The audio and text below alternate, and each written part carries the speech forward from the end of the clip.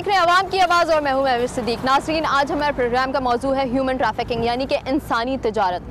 किसी भी मुल्क के माशी हालात इंसान की ज़िंदगी पर इतने गहरे असरअंदाज होते हैं कि कभी कभार इंसान कुछ ऐसे इकदाम उठा लेता है जिनके बारे में तस्वुर करने से भी हमारे रूंगटे खड़े हो जाते हैं। तीसरी दुनिया के ममालिक में पाकिस्तान को अपने जोग्राफियाई महल वकू से काफ़ी अहमियत हासिल है। यही वजह है कि अंदरून मुल्क और बैरून मुल्क इंसानी तजारत में ये मरकज़ी किरदार अदा करता है। पाकिस्तान के तकरीबन तमाम सूबों में इंसानी तजारत होती है, लेकिन खसूसी तौर पर सूबह पंजाब और सूबह सिंध के इलाकों में ये कारोबार जो है वो अरूज पर है।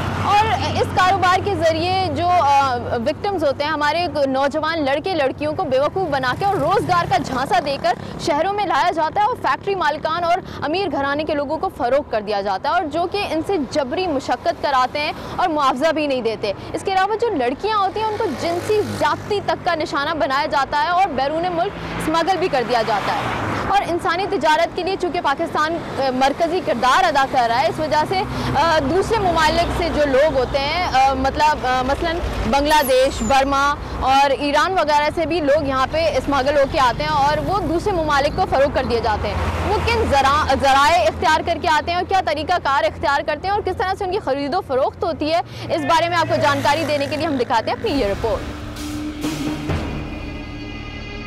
पाकिस्तान की आबादी का तकरीबन पिचासी फ़ीसद हिस्सा उन अफराद पर मुश्तमिल है, जो माशी नाहमवारी का शिकार हैं। छोटे बड़े शहरों में उनकी तादाद नस्बता कम है, मगर देही आबादी का बड़ा हिस्सा खत गुर्बत की निचली सतह पर ज़िंदगी गुजारने पर मजबूर है।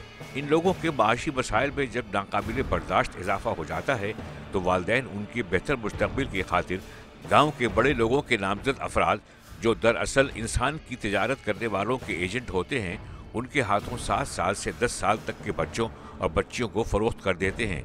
बच्चों को शहर में लाकर ईंटें बनाने का काम या कालीन साजी की फैक्ट्री वगैरह में मालकान के हाथों बेच दिया जाता है। घरेलू मुलाजमत या चौकीदारी भी उनके हिस्से में आती है, जबकि लड़कियों को तहजीब तमदन और फ़ैशन की ज़रूरियात से आरास्ता करने के बाद या तो उनको कराची में होने वाली पार्टीज़ और फ़ंक्शंस में नाच गाने के काम में लगा दिया जाता है और दीगर मुनासिब लड़कियों को मुतहदा अरब इमारात या दीगर अरब ममालिक में भारी रकम के एवज स्मगल कर दिया जाता है। अंदरून पंजाब और अंदरून सिंध के इलाके सियालकोट, गुजरात और गुजरावाला वगैरह के अलावा राजनपुर नवाबशाह और लाड़काना वगैरह से बड़ी तादाद इंसान की तजारत का शिकार बनती है। रवा साल में एफ़ आई ए की शायाशुदा रिपोर्ट के मुताबिक तकरीबन सत्रह सौ एजेंट और सब एजेंट्स जो खातन की स्मगलिंग में मुलविस थे, उनको गिरफ़्तार कर लिया गया है। अब भी न जाने कितने ऐसे एजेंट्स हैं जिनका सुराग या तो एफआईए को नहीं मिल सका या फिर उनकी तरफ़ से चश्मपोशी किए बैठे हैं।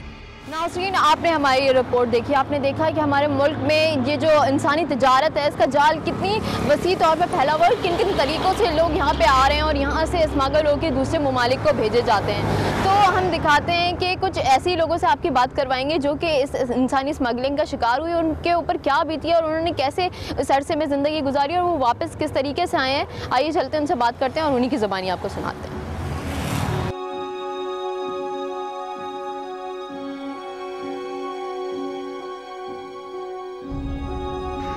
नाजरीन इस वक्त मैं मौजूद हूँ शफीक नामी एक बच्चे के घर पे जो कि ह्यूमन ट्रैफिकिंग का शिकार हुआ और जिसको पाकिस्तान से ईरान जो है वो बेचने के घर से ले जाया जा रहा था। तो इसका जो हाल है वो हम इसी से सुनते हैं। अच्छा तो आप पाकिस्तान से कहाँ गए थे?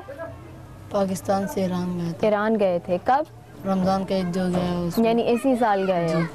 तो ईरान में कितने दिन रहे हो? एक महीना। एक महीना। तो यहाँ से तुम्हें कौन लेकर गया था ईरान? ये एक दलाल था। यहाँ से। तो तुम्हारी फैमिली को पता था कि ये तुम्हें लेके जा रहा है या तुम्हें अगवा किया था? धोखा पे लेकर गया था। क्या कह के लेके गया था? ये बोल भाषण दे रहा था मैं कारीगर हूँ पेंट का तो लोग बोल रहे उधर कमा सकोगे तुम। ईरान में? जी। वो तुम्हें बंदा कहाँ मिला था? ये बंदा मेरे को ऐसे में मिला था। कहाँ? मच्छर कॉलोनी तुम्हें जब यहाँ से वो लेकर गया तो तुम्हारे पास पासपोर्ट वगैरह नहीं था। कुछ भी तो तुम्हें किस तरीके से वो लेके गया? बस पे ट्रेन से हम लोग बारह थे ईसबगुड़ से हम लोग को ग्वादर का टिकट कटा है। तो वहाँ से ईरान जाने वाला गाड़ी होता है। हम्म। तो वो ऐसा रास्ता था जिससे आम लोग सफ़र करते हैं या ऐसा कोई खुफिया रास्ता बना हुआ खुफिया रास्ता है खुफिया था वो रास्ता जिससे तुम तो तुम्हारे साथ कितने लोग तुम बता रहे थे? बारह। बारह लोग थे तुम्हारे जितने ही थे? जी। अच्छा यानी छोटे बच्चे थे तो तुम लोगों की निगरानी कौन करता था? वो लोग सब खुशी में था कि हम लोग ईरान जा रहे हैं। अच्छा। हम लोग को ये नहीं पता हम लोग को बेचेगा उधर। ईरान पहुँचा तो हम लोग को बोल रहा तुम तेहरान जाओगे। तो उसने ग्यारह बच्चा बेच दिया था। तेहरान? जी। और तुम? तो वो बेच रहा था ना तो मेरे को बेचना लगा। मैंने बोला मैं नहीं मैं नहीं, मैं नहीं जाऊँगा। किन को बेच रहा था? ये ये बंगाली है वो भी। तुम्हें वहाँ बेच दिया बंगाली के हाथ तो फिर क्या हुआ? एक महीने तक क्या किया? नहीं जाने में तो हम लोग को नौ दस दिन लगा। ठीक है। तो मैं कोशिश करता था मैं घर जाऊँ। तो वो बस मैं शॉपिंग वो सब कर रहा था ना। शॉपिंग कर रहे जी वहाँ पर हाँ, वहाँ से मेरा अब्बू का दो दोस्त आया था उसका पास। उसने पूछा तू इतना सा छोटा लड़का कहाँ से है जब मैंने मेरा चाचा का नाम बताया वो लोग मेरे को पहचान गया था। बोल रहे तू तो मेरा घर का लड़का है। तो लोग ने मेरे को वहाँ से लोग से चीन तो तुम्हारे चाचा तुम्हें मिल गए ईरान में? नहीं चाचा तो यहाँ पर है। चाचा लोग का दोस्त है। चाचा लोगों के दोस्त तुम्हें ईरान में हाँ। मिल गए और जिनकी वजह से तुम यहाँ तो तुम्हें वापस कैसे बुलाया गया? यहाँ पाकिस्तान किस तरह ये उन लोग उन लोग ने मार पीट करके मेरे से वहाँ से उन लोग का जगह में लेकर गया। फिर मैं उधर खुशी से रहता था। जुम्मे वाले दिन है ना हम लोग घूमने चलते थे। अच्छा। तो एक दिन जुम्मे को हम लोग घूम के चल रहे थे ना तो हम लोग को वहाँ पर पुलिस ने पकड़ा क्योंकि वहाँ पर पाँच जन साथ मिल गया ना हम लोग को। तो वो लोग बोला कौन सा देश का? हम लोग ने पाकिस्तान का बोला तो हम लोग को पकड़ लिया था। फिर ये बड़ा अफसर से बात किया बड़ा अफसर बोला पाकिस्तान में भेज दो सबको। तो यहाँ पर आके ऐसा काला वर्दी है पुलिस का हम्म। काफ्तान बॉर्डर में। तो हम लोग ने जब कराची का बोला कौन सा इलाके का बंगाली बोला था? तो हम लोग पाँच का अलग किया हुआ था। पाँच का अलग करके। हम्म। तो वो लोग एक नवाब का हाथ में भेज दिया। वो भी एक मामूल। किसने बेचा? उन पुलिस वालों ने। भेज दिया तुम लोगों को एक नवाब के हाथ हाँ। कौन कहाँ का नवाब था वो? वो मानी उसका नाम नवाब है वो भी एक पार्टी है। अच्छा ठीक तो है। उसने एक दूसरा मामू है मामू लोग को फ़ोन करके बोल रहा है नया बंदा आया पाँच भेज दो। तो उसने बोला भेज दो। तो उसने यहाँ से भेज दिया वहाँ पर। तो वहाँ पर अल्लाह का एक मिट्टी का अंदर था बंद कमरे में। मारता था रोज जंजीर लगाया हुआ था। अच्छा कि तुम लोग भागो नहीं?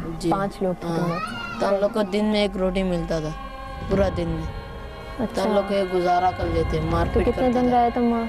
वहाँ पर दो महीना रहे। दो महीने तुम वहाँ पे रहे? फिर? जी- पहला दिन गया तो उधर से एक नाखून निकाल लिया मेरा। कौन सा दिखाओ? ये। पैर का तुम्हारा नाखून तुम्हें टॉर्चर करने तुम्हें तकलीफ़ देने के लिए ये किया। घर में चीख सुनाने के लिए। घर में चीख कैसे? फ़ोन करवाया था? तो घर पे रब्ता क्यों करना चाह रहे थे? तुम्हें तो वो बेचना चाह रहे थे। नहीं मामू बोलता है मेरे को पैसा दो यहाँ से जाओ दफ़ा हो जाओ। तीन दिन हम लोग को लटका के रखा था। किस तरह लटका के? उल्टा लटका हुआ था। तीन दिन तक तुम लोगों को उल्टा लटकाया हुआ था। उससे उनको क्या फ़ायदा हो रहा था? बस उन लोग को फ़ायदा हो रहा है। वो लोग हँसते रह रहे। हँसते थे? जी। तुम लोग रोते होगे। तुम लोग छोटे छोटे बच्चे हो तुम लोगों पे इतना जुल्म उनको तरस नहीं आता था। लोग नमाज़ पढ़ते था उधर। आके बस लात मार के चला जाता नमाज़ में। नमाज़ पे ही तुम लोगों को लात मार के चले जाते जी थे। यहाँ से जब पैसा कम करने बोला तो उन लोग ने बोला एक लाख तीस दो। अच्छा पैसे कम की बार्गेनिंग हुई है। अच्छा ठीक है फिर? तो लोग बोल रहा है इन लोग इतना दे नहीं सकेंगे। तो इतना दे नहीं सकेंगे बोला ना डायरेक्ट आकर मेरे को यहाँ इस जगह में ना बट मारा था। अच्छा। फिर मेरा घर पे फ़ोन किया बोला पचास हज़ार रुपया भी भेजो। पचास हज़ार से फिर बैंक में डाला। किसके नाम पे डाले? ये मोहम्मद अमीन का। मोहम्मद अमीन। ये वही बंदा है जिस जिसके पास तुम वहाँ ये बड़ा नाम है बड़ा सेठ का। स्लिप है? जिसके नाम पे तुमने बैंक में जमा कराते हैं डिपॉजिट स्लिप होती है वो है? नहीं ये हाँ ये है। है? जी। दिखाना तुम अच्छा मेरा अम्मी का पास है। तो वहाँ से पैसा जमा हो गया। तो मेरे को दो तीन दिन रखा तो गाड़ी वाला को बोला इसको क्वाटा में छोड़ देना। मेरे को क्वाटा में छोड़ के दो हज़ार रुपया दिया। मेरे को बोला ऑटो रास्ता पकड़ के ए, कराची टर्मिनल जाना। तो मैंने कराची टर्मिनल जाके टिकट कटा के यूसुफगुड आ गया बस। टिकट लिया और तुम यहाँ कराची अपने घर पे आ गए खुद ढाई हज़ार रुपये में। जी।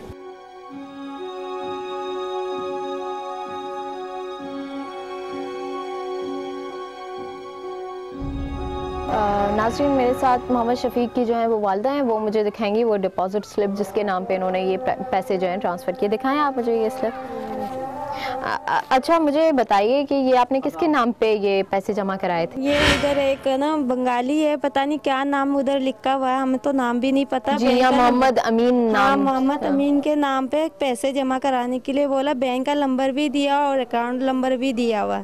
अच्छा तो हमने मालूम करके वही बैंक पे चली गई वहाँ पैसे जमा करवाने के लिए। Account number zero one zero zero one three five zero. तो इसका क्या ताल्लुक था? हम लोग को क्या पता क्या ताल्लुक था मगर फ़ोन पे उन लोग ऐसी पठानी जबान पे बोलते गालियाँ देते पैसे नहीं जमा करा तो उल्टे सीधे बहुत सारे बोलते रहते हैं। तो आपने गवर्नमेंट से अपील नहीं की कि हुकूमत आपकी मदद कर दे वो इमदाद कर दे कि आपका बेटा हुकूमत को कैसे बताया? अभी हमारे बेटे वहाँ बंद है। अगर हम लोग यहाँ आप लोग को बता दे हम्म। या कहीं हम लोग जाके बोले तो मेरे बेटे को नहीं मारता है। तो हमारे लोग हमारे ही। मुल्क में हमारी हुकूमत से ही मतलब जो है वो उनको सिक्योरिटी नहीं है अपनी सही सलामत कहाँ भिजवाया? ईरान लोग भी पैसे लेकर भिजवाया ना। ईरान लोग भी पाँच हज़ार रुपया लेते पाकिस्तानी का। मामू अच्छा। लोग को मामू को ईरानी हाँ, हुकूमत ने भी पाँच हज़ार रूपए लिए बच्चा हाँ, देने के हाँ लिए। बच्चा देने का। तो उसने पाँच हज़ार में खरीदा और आप लोगों को आप ही का बच्चा पचास हज़ार में बेचा। हाँ पचास हज़ार में बेचा। नाजरीन ये देखिए ये बैंक अकाउंट है इसका बाकायदा नाम है इसका बैंक अकाउंट है जिसके नाम पे ये पैसे ट्रांसफ़र हुए हैं। मतलब ये पूरा मुनज़म ग्रोह है और ये तो बाकायदा रिकॉर्ड है हमारे पास पेपर प्रूफ है इन लोगों के खिलाफ। यानी ये वो लोग हैं जो कि क्रिमिनल्स हैं और जो कि गलत काम कर रहे हैं और इनके खिलाफ सबूत भी है लेकिन फिर भी हमारी जो हुकूमत है वो सो रही है कोई कार्रवाई नहीं कर सकती जबकि सबूत हमारे पास मौजूद है। जितने आप बोलोगे ना हाँ बीस हज़ार रुपये पच्चीस हज़ार रुपये आप बोलोगी वो दे के जाएँगे। तेरी समझ में बात नहीं आ रही? तेरे को मैंने बोला, दो महीने तक हम खबर गिरी रखते हैं। ए, इधर आ, इधर चल बैठ हट उधर जाके बैठ।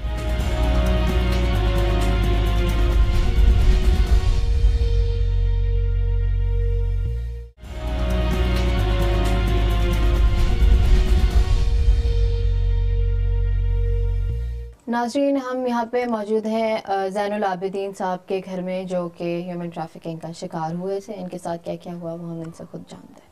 आप यहाँ से किस मुल्क में भेजे गए?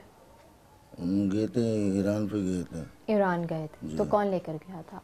ऐसे पैदल गए थे गाड़ी के ज़रिए गए थे कमाने के चक्कर में। कमाने के चक्कर में आप गए थे। तो कौन शख्स था जो आपको लेकर गया? खुद गए यानी गाड़ी वाले लेके गए गाड़ी वाले को पैसे दिए गए। तो आपके पास पासपोर्ट वीज़ा जी नहीं था। तो आप किन किन रास्तों से गए? मन बोले के वाले रास्ते से गए। बलूचिस्तान के रास्ते से। तो बस में गए हैं। यहाँ से तो बस से गए और फिर आगे टैक्सी से गए। जब ईरान पहुँच गए फिर टैक्सी से गए। तो बीच में कोई चेक पोस्ट नहीं आई जिसने पूछा हो आपसे कि आप किस मुल्क के शहरी हैं? आपसे पूछा नहीं जब आप बॉर्डर क्रॉस कर नहीं यहाँ से तो नहीं पूछा बहरहाल उधर पूछा था जिस टाइम पे हमारे को पकड़ा।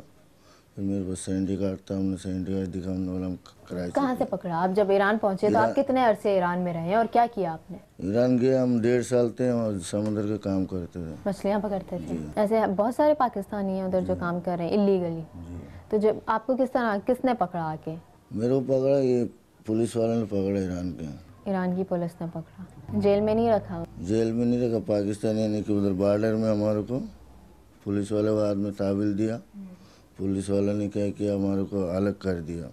कराची वाले बोले तो मेरे को अलग करके रखे। उसके बाद जो ना मेरे को माफिया का हाथ में दे दिया। कराची वालों को अलग किया और उनको माफिया के हाथ में दे दिया। तो पुलिस वालों से कितने रुपए में यहाँ खरीदते हैं इंसानों को? पुलिस वालों को पता नहीं कितने में खरीदते हैं। हम लोग से जो दो लाख रुपया हमारे से लिए गए। आप लोगों से दो लाख रुपए उस माफिया वालों ने मांगे? जी। तो आपके घर में कौन था? कोई कमाने वाला था? हमारे घर में कोई कमाने वाला नहीं था। हमारा बुढ़ा वाले साहब है। माँ है, घर का झोपड़ी वो बेच कर मेरे को चढ़ाया। झोपड़ी बेच के दो लाख रुपए भेजे। जी। तो आपने किसके नाम पे भेजे? अकाउंट दिए वो लोग ने ना। अकाउंट अकाउंट नंबर दिया कि इस पे ट्रांसफ़र करो। अच्छा तो जब इन्होंने आप, आ, माफिया ने आपको रखा कितने अरसे रखा अपने पास? मेरे को रखा यानी कि एक महीने तक रखा। एक महीने तो उस अरसे में क्या करते थे आप लोगों के साथ ये लोग? आपसे काम वाम करवाते थे? काम वाम नहीं करवाते ऐसे बंद कमरे में बाँध के रखते थे। हम्म। आते थे दिन पे दो तीन दफ़ा मार पीट करते थे। घर पे फ़ोन कराते थे बोलते पैसा मांगा ये वो कभी कोई इस तरह किसी की जान चली गई? क्योंकि खाना वाना भी नहीं देते होंगे खाना वाना यानी कि बीस पच्चीस बंदे लोग कैद करके रखते थे। एक गिलास डाल देते उसको पानी बना के चावल मांग के साथ देते थे।